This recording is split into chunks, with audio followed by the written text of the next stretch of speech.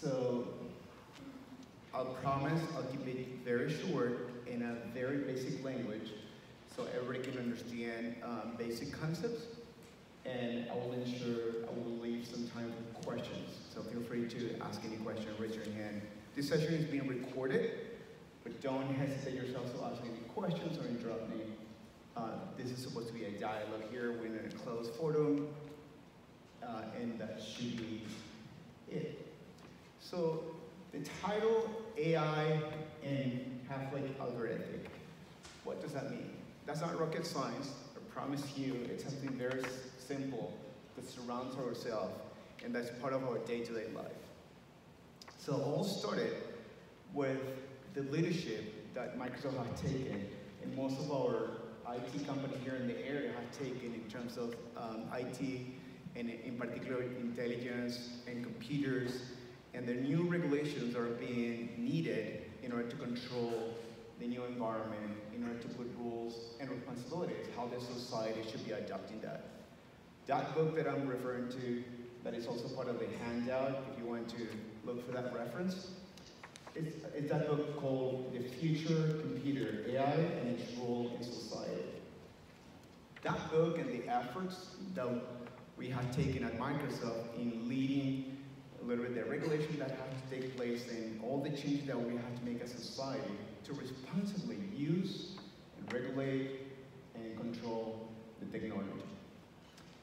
That book and those efforts led to a lot of interest from a lot of people.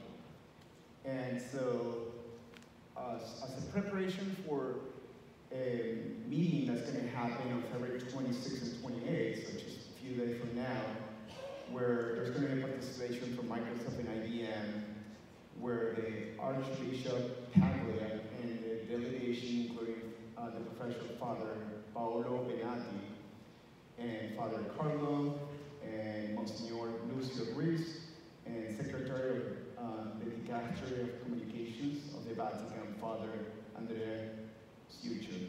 Uh, we met with them September 5th, 2019, and that was a preparation for the meeting they're going to happen in a few days. So, if you wonder a few of the concepts that I just said, whatever the, the is, You can search in your handout. That's the second uh, question there. It's pretty much you know, a department, delegation, part of the Vatican that was uh, in charge of leading this effort uh, in driving education on technology and in particular artificial intelligence. So that was a picture of the meeting uh, at Microsoft. And two things that I want to pull out were, um, they were the two main takeaways. The first one is uh, all these smart people that look there, and all these, and I'm, I'm including the first row and the second row, the delegation from the Vatican, and several people who were interested in the area. Uh, all of them led to two things uh, that for me was the biggest takeaway.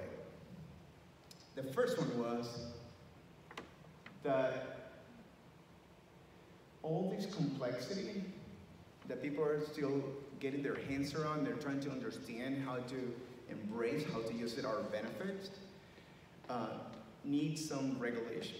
And all the forum and all the attendees that were there, they were asking the delegation of the Vatican, you leaders of the church, tell us, Microsoft, what should we doing? What's the guidance that you can give us? How we should be designing our products, how we should be using, how we should be regulating, so we're aligned to the commands of the church, to the guidance of the church, to the guidance of the Catholics. And the short answer was something that really blew my mind.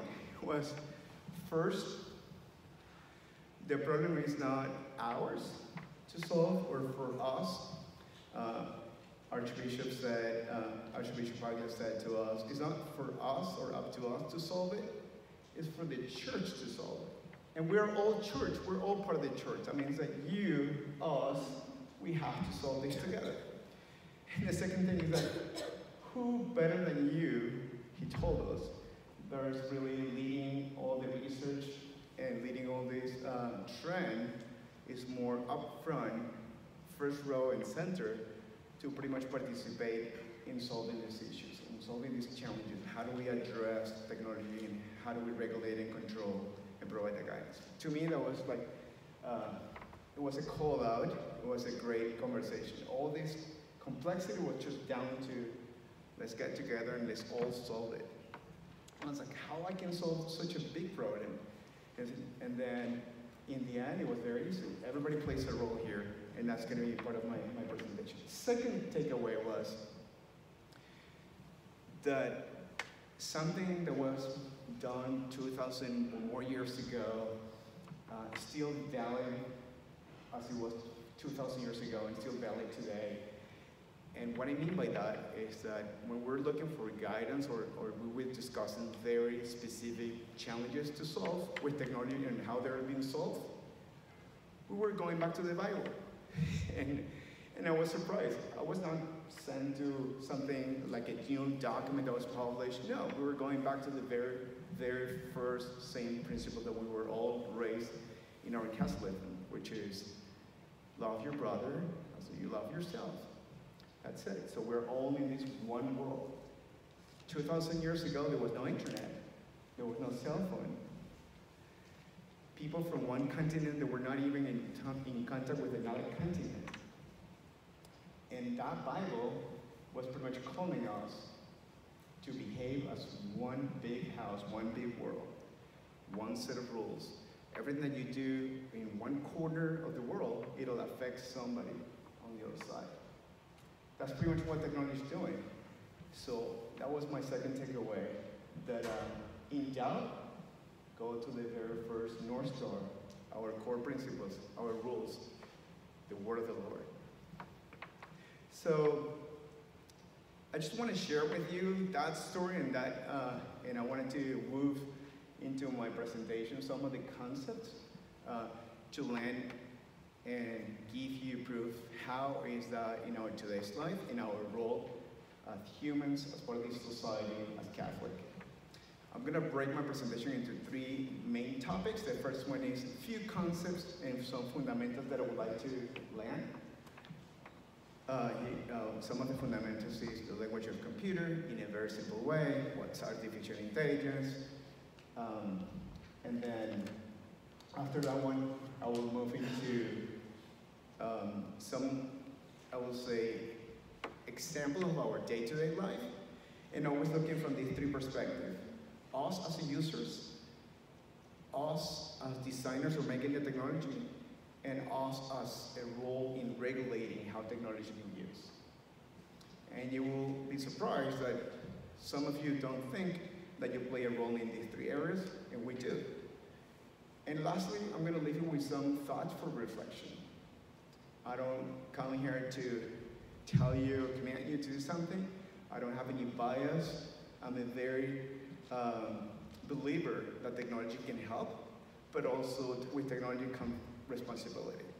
And I wanted to share with you uh, some of those thoughts. So you might think that artificial intelligence is something in the future, rocket science, or looked at like the robots that I was having in my last page. Turns out that artificial intelligence is everywhere. It's right here, surrounding us, and it's not in the future. You can find examples in our day-to-day. -day. You can find examples in health. You can find examples in your car, in your cell phone. When you press your application on your cell you wanted to navigate from one point to another one. That's artificial intelligence. When you want to set up your thermostat to learn how to control the temperature of your house, all the research that has been done in agriculture, in health, with genomics and all these great inventions. And it's even in very simple things, even from your fridge, that in the past was just to keep your food cold, to avoid spoiling it uh, very quickly. Now your fridge turns into even more things. Now it doesn't only keep your food or your meals cold, but also tells you if you're taking more calories than you should. Or maybe if you're missing milk and you, then you have to go to the supermarket or the grocery store to buy milk. It informs the calendar of your kids. It can quickly display news, etc. So as you can see, multiple examples. When you go in a grocery store, you can scan it quickly. You don't have to talk to a teller to pay that. If you go to Home Depot, if you go to Amazon Go, there are multiple examples everywhere. So that's not a rocket sign. It is right now in your hands. Think about uh, when you wake up this morning, how long it took you from the time that you woke up to check your emails, to check your news, what device you went to. It's pretty much you know in our day-to-day. So computer devices, all those things, how do they work? Very simple. We tell the device what to do. We, you, we tell them what to do. And the way that we tell them what to do is that word that's called algorithm. That's the language of computers. And you can see also in the handout a very simple definition of that one. It says an algorithm is just a process of rules. It's a command. When you have something as an input, as a data, you do something. That's pretty much what we tell them. And you can see in this diagram how an algorithm works. If an event happens, then what the computer should be doing. If the temperature of my house is 60 degrees, then the thermostat should be kicking the furnace and the furnace should be elevating my temperature of the car or the house or whatever that is. If I'm late for a meeting, and an alarm says, hey, you should be attending this meeting. So if an event happens, if a data happens, then the machine should be doing something. And by machine, I mean a device, my cell phone, the car, the TV, the coffee machine, anything. All that is to achieve a goal, an objective. We have technology not just for the sake of having something automated, it's to achieve something. The challenge is, what happens when we don't have the data or the input that we need, which is that big box number one, if, or when the action taken with that little input is not the, the result that we expect. Because again, who is writing that code? It's us, you, humans, imperfection. And then we expect a result that is perfect. So just to bring in awareness. So who can tell me that sign on their box number three is about? That scale, that balance.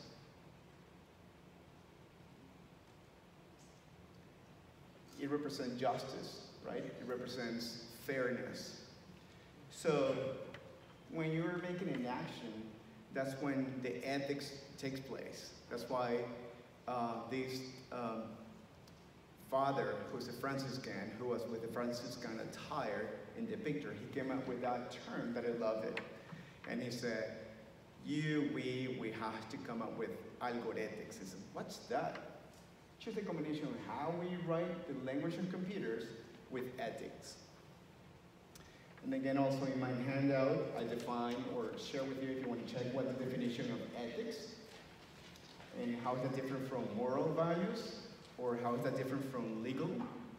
You can do something that is legal, is moral, maybe it's not ethic. Or today, with the changes, you might be something that is ethical, moral, and is not legal, and vice versa. So these three concepts change. Technology is changing the world, and therefore we have to update and change the rules, the rules that govern this world.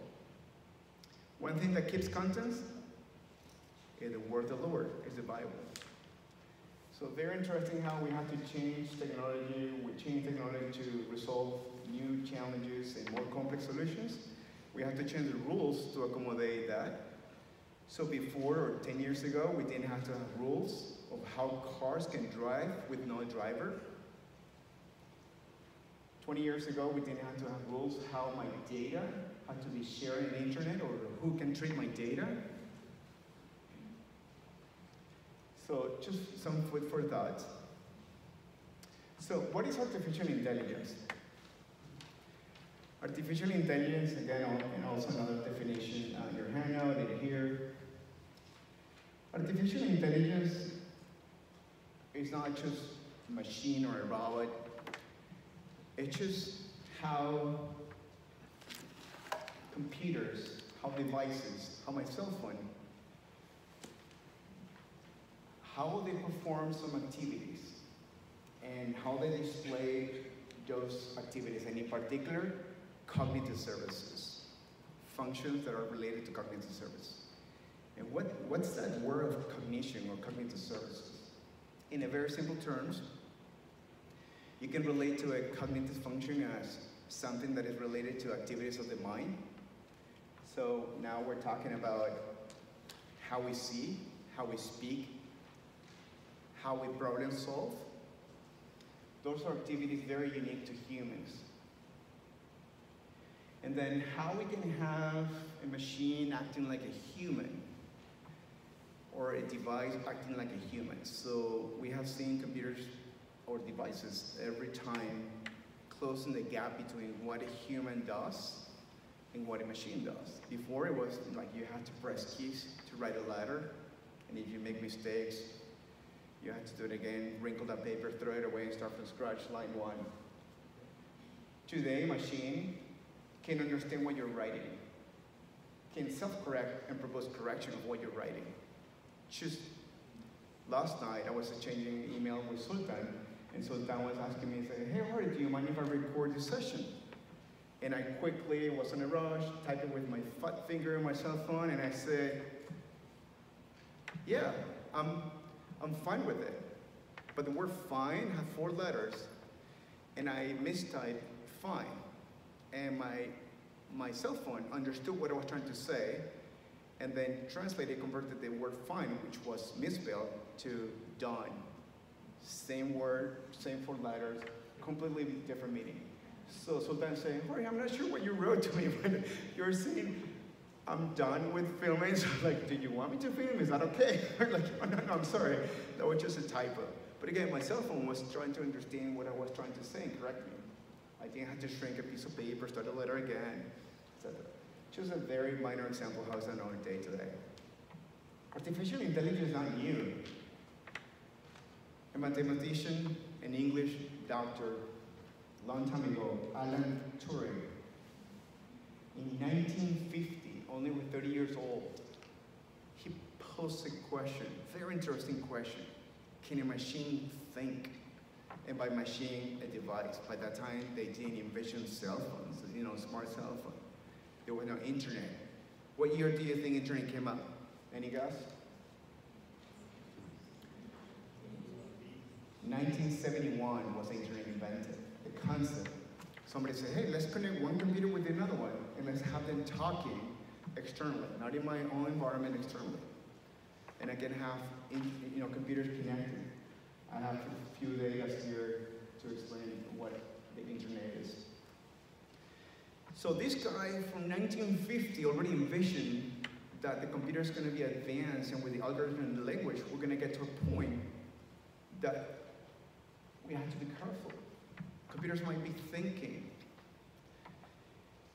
And that was 1950. A lot has happened since then.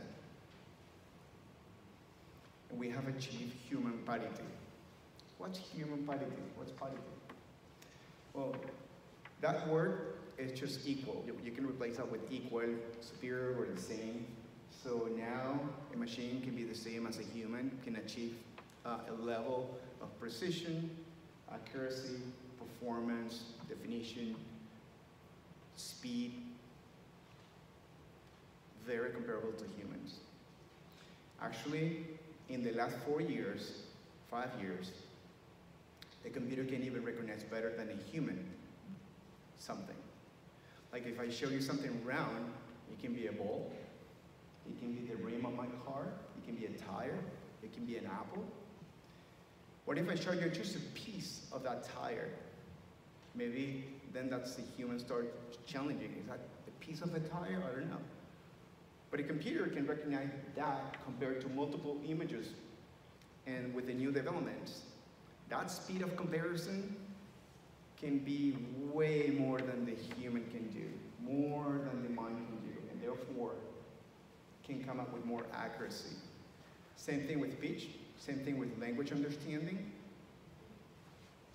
When you even write a letter or you, uh, or you talk to someone, that person can interpret that in a different way. Now computers are even able to understand that better than someone else. So as you can see, this is not the future. This is some of the past, and it'll be continue going, and it'll be a, a very steep curve. And for that one, we have to adjust. That means that we have to have responsibility. So technology put us in a position from the three roles that we have to play. As a user, as a designer, as a maker of that technology, and also as an entity that regulates that technology. And each of us have responsibility as citizens, as part of this society, as regulators, as a dad, as an uncle, as a brother, as a parishioner, as a father, as a leader in a community. Some of the three elements that whoever's leading this believe have to be in place. The first one is privacy. To be able to manage artificial intelligence is about managing data. Therefore, we have to be very careful how we treat data because it's not my data, it's everybody's data. So when you take a picture with your cell phone, that picture is not just an image. That picture has information about you, your house, where the picture was taken, the day of the picture, etc. That's a lot of data that you're sharing.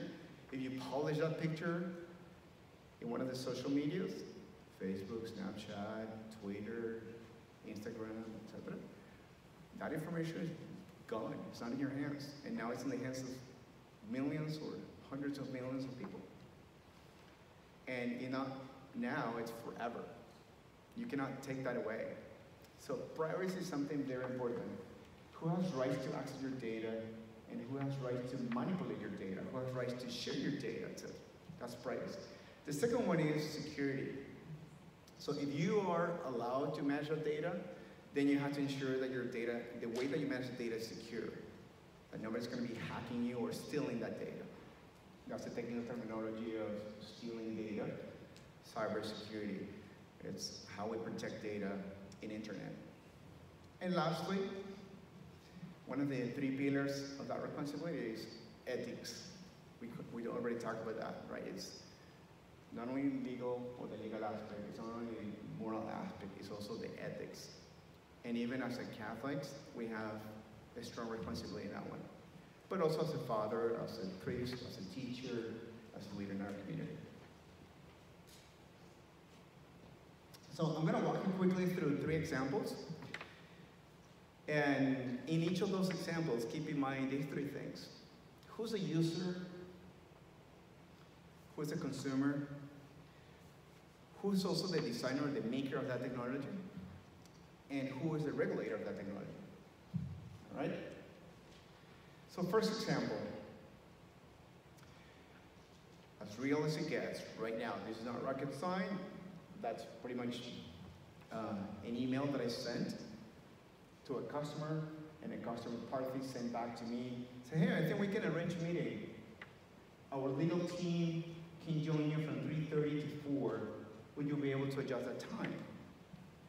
And you can see in the bottom, uh, and this is a screenshot from my cell phone, automatically my cell phone, read, understood what the email was about, and immediately suggested some of the answers. Yeah, I can do that. That's one answer, one option. The other one is yes. The other one is yes, no problem. So my cell phone was already understanding what was the content on that email. So think about, again, the three users, makers of technology, and regulators. Another example, by the way, NLP or NLPU stands for Natural Language Process Understanding. In other words, the ability for a machine or a device or a computer to understand the context. What's the intent, what's the objective? Who is asking for what? Is there an action needed? Another example, real life, that's a screenshot from my computer. At the end of the week, my computer shows, hey, I've been reading your emails. I've been reading communications via email, via conversation that I'm recording, and there are three actions that we want to ensure that you are executing against. The first one, we might in customer party, say, hey, you said Again, this is the computer telling me, you said in one of the emails, Jorge, that you will revert back to this person with the initial draft of the contract by Friday. That means by the end of the week. Did you do that task? Just a reminder.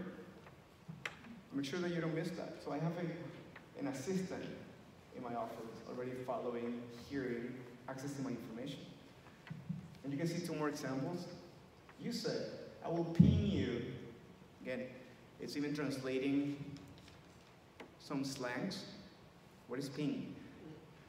Ping translate, yeah, I'll reach out to you, I'll give you a buzz, I'll give you a nudge. But it's understanding with my informal language, I will ping you, blah, blah, blah, and saying, did you do that task? Did you ping that person? And then last one, it's not just work, it's also an email externally from Bank of America, my financial institution, saying, that was a commercial, that was an advertising. Hey, to review this account, please visit your mobile or banking experience, etc. Did you do that task? Do you want to execute that task? As you can see here, day-to-day -day tasks, we have an assistant, a smart or intelligent device helping me. So who's the user?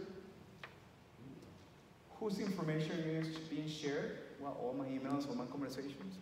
Who's making that to work that way? And also, what are the rules and how that technology was made? Uh, so we have to be conscious, the users, well, how my data is being used. If I'm the one designing this, okay, it, my user will be okay with that. Do I allow my user to sign up or opt out if they don't want me to read your emails? All that is possible. If you don't do that, then you're breaking basic rules. Just another example. Very familiar, this is not a rocket, this is just a car that is parked here in your parking lot that you have seen every day. This is not in 2040, no, no, this has been there for several years and is driving. So how much do you use and how often do you use just routing from point A to point B to go from one point to avoid traffic, to avoid tolls, all that is being used in everyday uh, driving experience. And that's been taken even further, which is now cars can drive without a driver. Or cars can assist a lot your driving, can recognize, again, using machine vision, even reading what's going there. So now I can identify, is that a person? Is that a pedestrian? Is that a car? Is that a pedestrian or a sidewalk? Is that street one way or two ways? Do I have to stop? There's a traffic light. All that is in the car today. So again, who's the user? The driver of that, of that car? The passenger of that car who's relying on the pilot? The responsibility that we have? Not only if I design the car, what are the decisions I'm going to tell the car in that algorithm? If you see a pedestrian crossing, what the car's going to do? If there's an accident that you cannot avoid, how the car's going to react? Or do I kill one person? Or do I kill two? Or do I kill the driver? Those are decisions that you have to think. Of course, we don't want to kill anybody, but uh, again, if, then, else, what? Of course, if we have an intention, if we have an objective, we want to achieve it, absolutely no-brainer. But since this is imperfection we're using it, we have to also take into account those corner scenarios or those unexpected scenarios. Just one more last example, face recognition. That's also machine learning vision. The machine can recognize you. And one thing that is very unique is our facial appearance. That's why when I turn on my cell phone, I don't have to press anything. My camera sees me and automatically says, by the way, I have 25 minutes remaining. And I didn't have to enter my passcode. Immediately it saw me, and I can be wearing glasses where I cannot be wearing glasses. I can show just a portion of my face. But also my face can be identified in a bank, or can it be identified to receive credits or not. If I identify that you have Latino racial ethics, maybe mm, this guy behaved this way. Or if I identify your, your South Asia, you know, and I have a correlation between your face and the baggage and the trends, I can determine some certain actions. Is that right? Is that legal? Is that ethical? What God tells us. Treat your brothers and your sisters the same way. You cannot go by your, your facial recognition. Is facial recognition bad? No, it helps, but it's how we use technology. Right? So who's the user? What information being shared? Who's the maker of that technology? Think about that. Another example, cashierless stores. Come here, grab, pay, and go. You can go into the store, pick whatever you want, and leave. You don't talk to anybody. No social contact. You don't have to tell what you want. If you need assistance, you can get assistance without talking to anybody. Who is the maker of the technology? The solution? Does that help? How it benefit? Who's the user of that technology? How the data is being used? What's the responsibility?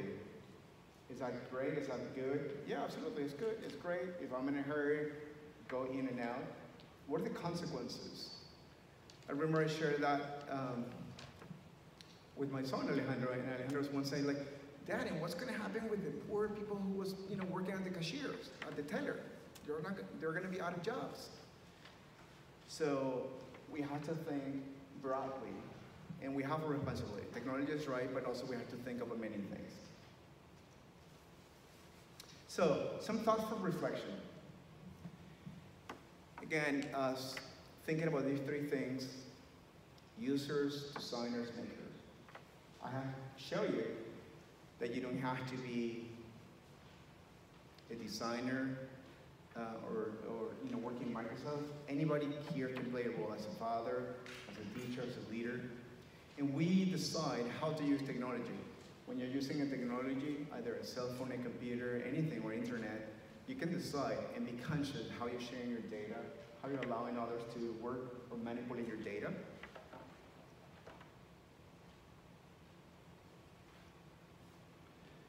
Anyway, I want to share something that I skipped that I thought it was also a very good example that you can come up with uh, some creative thinkers, uh, some creative ways.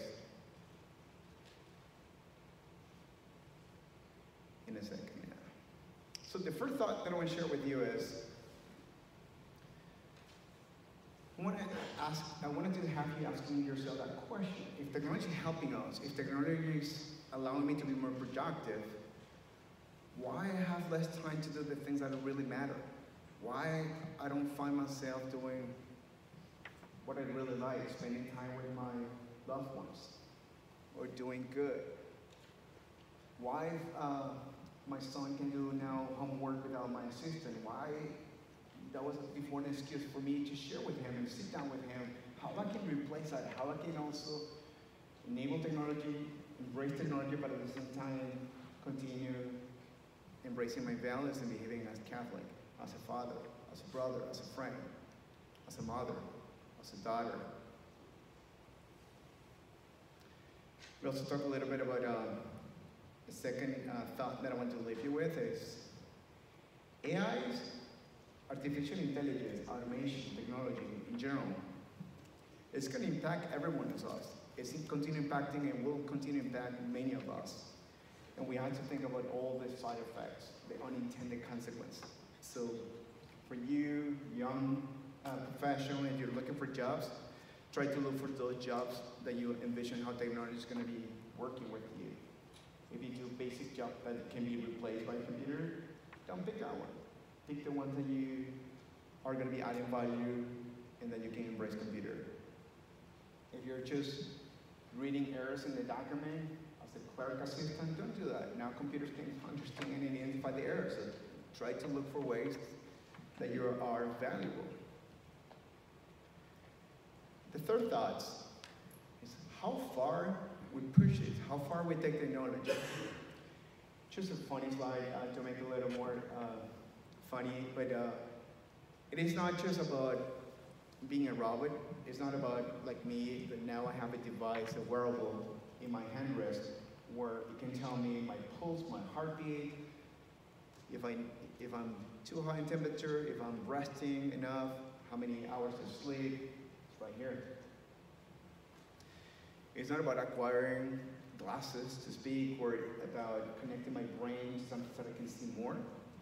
When I talk about how far we push this, it's in every dimension.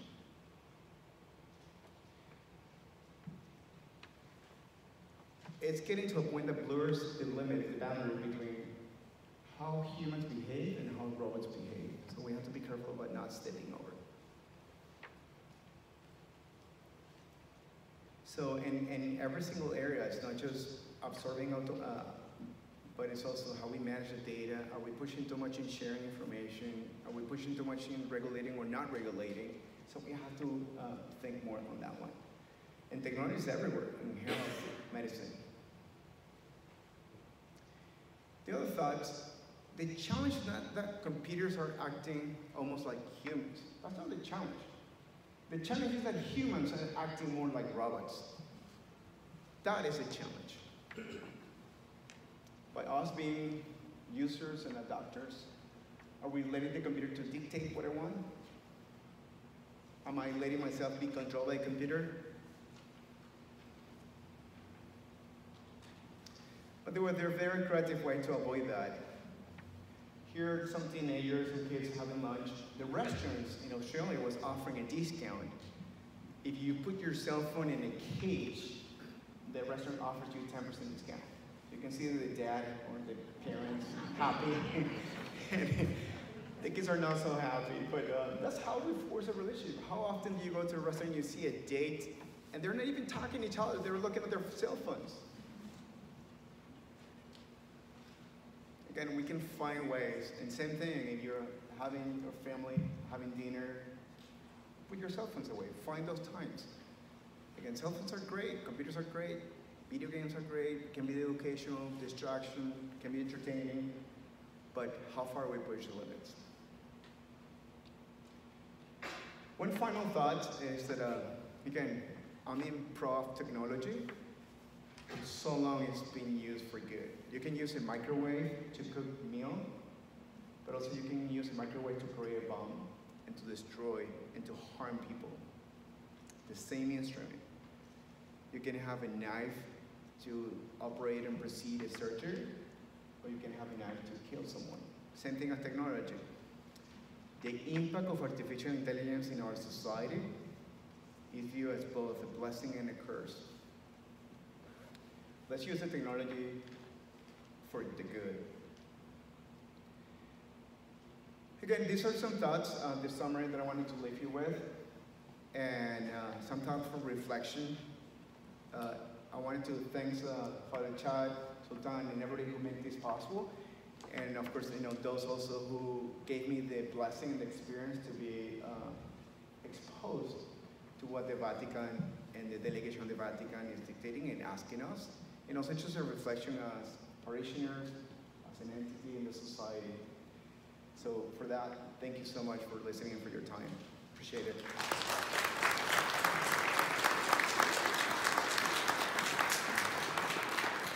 And I'll be here also for questions. Uh, if you want to have any questions, there's a mic. Uh, I'm happy to take any questions, discuss. I'll be here also after this. Please speak your question to the mic. Hi, thank you. Excellent presentation. Uh, is there an ongoing dialogue with the Vatican a periodic basis to continue that initial conversation? So the question was, is there any periodic conversation, dialogue, and rhythm with the Vatican? Yes, the answer is yes. There are, there are many movements. Again, the church is all of us, all of us. It's you, me, everybody. It doesn't have to come also from the Vatican, but certainly there are leaders. Um, even before this talk, there were a few uh, people who approached me and their business card, let's connect, I'm interested in the topic, and I'm sure we can, each of us play a role. Um, but everything starts in your own house, how do you use, how you let people use your data.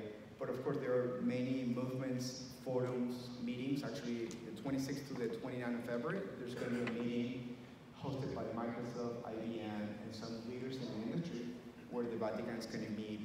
And pretty much that they're trying to influence and bring awareness of how this era of artificial intelligence is developing. Thank you. Thank you. Hello, good evening. Uh, uh, Other religions that you're, not just Catholics, that you're using or using ethics, or the distinguishing other religions? I'm sorry, I couldn't hear the question. Can you repeat that question again, or can you stick to the phone? Other than Catholics, are there Hindus, Muslims, Buddhists who have reached out to Microsoft, for example? Yes, great question. So, um, the question was about, you know, religions and, and the diversity, not just, this is not a movement or, or something from the Catholicism. It spans across all the religions. And actually, that meeting that we had with the Vatican, there were some Catholics in that meeting, but there were other completely different views. Um, and it was very interesting because one thing that uh, technology does, technology doesn't look at what your religion is and, and what your beliefs are, or what your moral aspects are, or what your ethics are. Technology looks at uh, humans equally, and the challenge that we're having, is a driver is a Catholic, or a pedestrian is Muslim, or, you know, it's going to act independently on that one. That's why we all have responsibilities, but we have to come together because technology is being used in a different way and in ways that we have to ensure we use it responsibly. So thank you for the question. Yes, there are many movements, uh, and we're trying to come together. Not because this is coming from the Vatican, it's Catholic. It's, it's a group of people representing multiple areas, uh, multiple religions, multiple trends, because it's affecting us, all of us. So thank you for the question. Thanks for the presentation, very interesting. I have a question. I think it's part ethical question, maybe it's a legal question. If I am a designer of a device or software I intend to uh, be used in a useful way, then uh, by mistake that device causes harm. Do you think the designer should be responsible for, for that harm or what happens when someone uses the device on how it's injured? And do you think designers are aware of that and they have some responsibility when dealing with those devices? Great, great question. Thank you. Um, so the question was about, you know, what's the responsibility pretty much for the designer? That's how I interpret it, right? Uh, so we can summarize what's today's responsibility and how people who are designing and making technology are acting in a responsible way or not. And I can tell you that um, as we go into new territory, new arenas, this is new for everybody. Um, we are driving awareness to ensure that that happens. But many people are not conscious, and we're even discovering some of the unintended consequences. So we have seen cars killing people, and then who's responsible? Do we get the car in the jail? No, the car is not a person. You know, how we can take a car, a vehicle, or a computer to jail because something happened that we're not expecting. But then the designer of the vehicle has some responsibility. But more importantly, we have to understand that technology is something that is imperfect because it was made by a human. Therefore, we cannot blame the car if the car acted in a different way or weird way. We also have to take conscious of how we use technology. The most important message here is how we use technology, how we let a machine, a car, a device, a robot do the things, and how do we supervise and ensure that it's being used in the right way. That's the most important message. But of course, you know, we're driving awareness of the manufacturers. Um, there was a robot in a car manufacturer who killed a person. So who's responsible, the robot or the person who was operating that technology or the manufacturer of that technology? I think we all have responsibility. Again, as a user, as a manufacturer, designer, and as a ruler or regulator. Thank you so much for this presentation. And the point that you've driven home several times, if I've heard you correctly, is that it really kind of all starts with how we're using technology at home. In fact, you really brought that home when you showed your email daily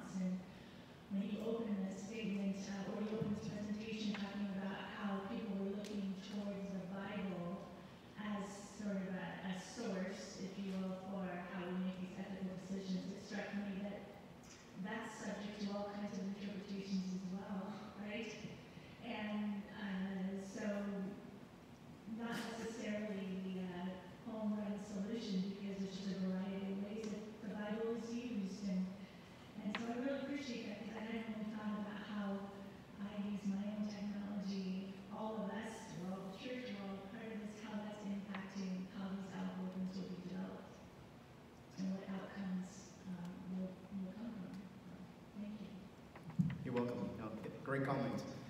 And I wanted to reiterate what you said, which is pretty much ultimately, I always tell my kids and my family, situation happens, things happen, just because that situation was enabled to happen. If we don't enable that to happen, then nothing happens.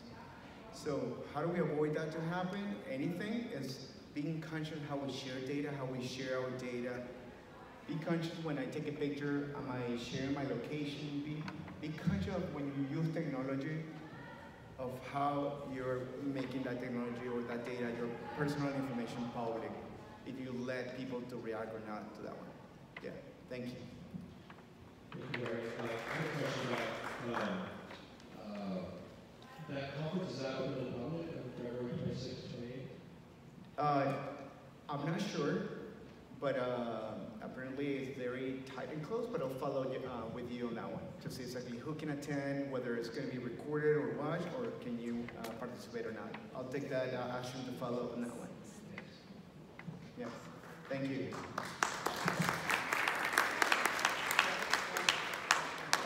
Yes.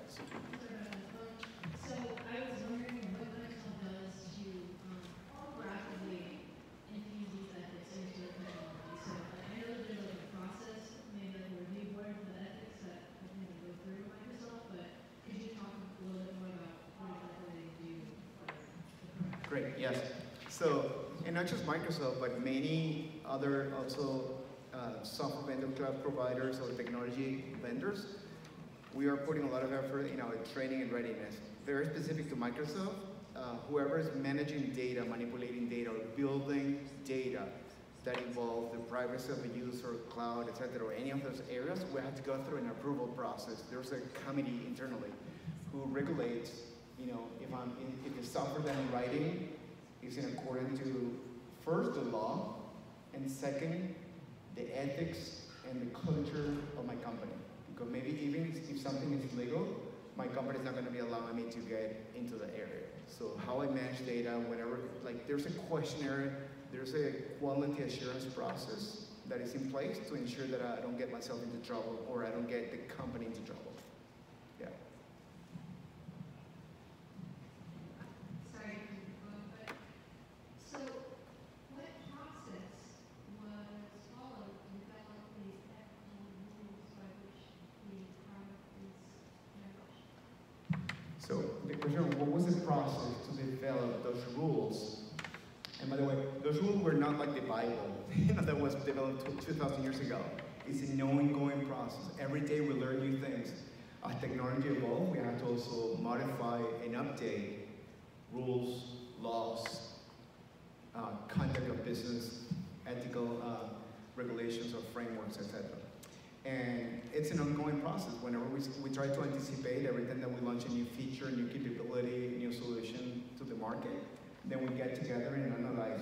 We try to assess, you know, what are the consequences. And we have uh, board meetings where we not only uh, invite people internally from Microsoft, but we invite users, big corporations, or regular uh, regulatory entities, or key stakeholders who are interested and also participate, the church, the government, and many others to ensure that we are looking at the 360 view and we are taking a holistic approach to ensure that we have the right rules to use and let people use in a responsible way technology.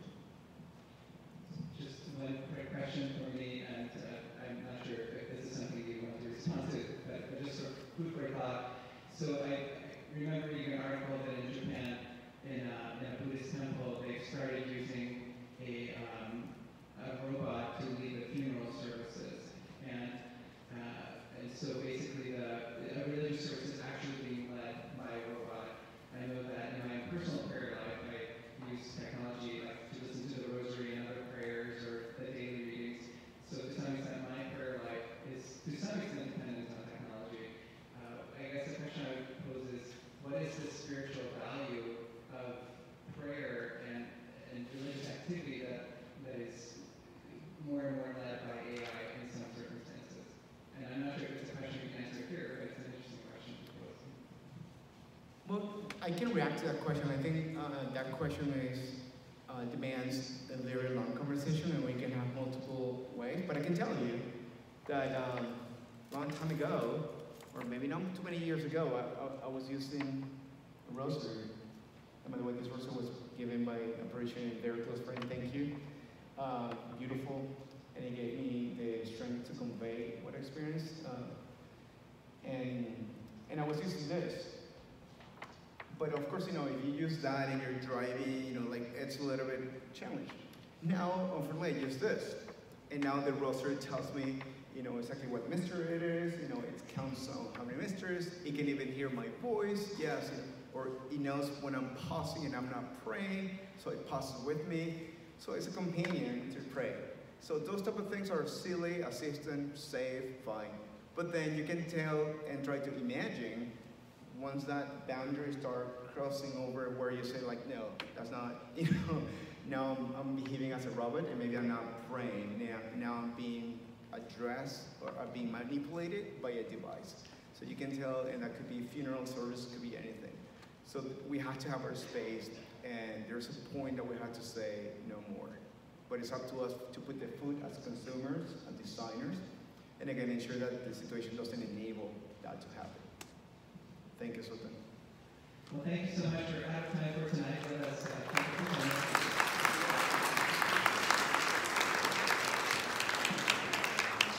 If you'd like to stick around to ask some more questions, please feel free to do so. Also, if you have a, a little bit of time, help put away the chairs and the snacks. We certainly appreciate your help. And please uh, come back uh, on February